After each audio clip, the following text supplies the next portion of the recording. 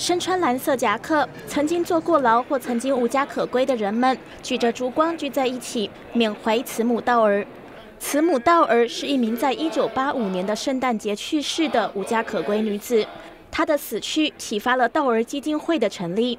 这个基金会致力于帮助曾坐过牢的更生人和无家可归者。My life completely made a 360. You know, I'm able to um love myself, love other people. 每年接受过基金会帮助的人会在圣诞节齐聚，缅怀慈母道儿，并呼吁民众关注社会底层问题。If we don't value each other, if we don't come together, we have no future. 三十几年来，道儿基金会已为两万三千个流浪者或曾坐过牢的更生人提供工作机会、住房和教育资源。新唐人记者王于鹤、奥利弗纽约报道。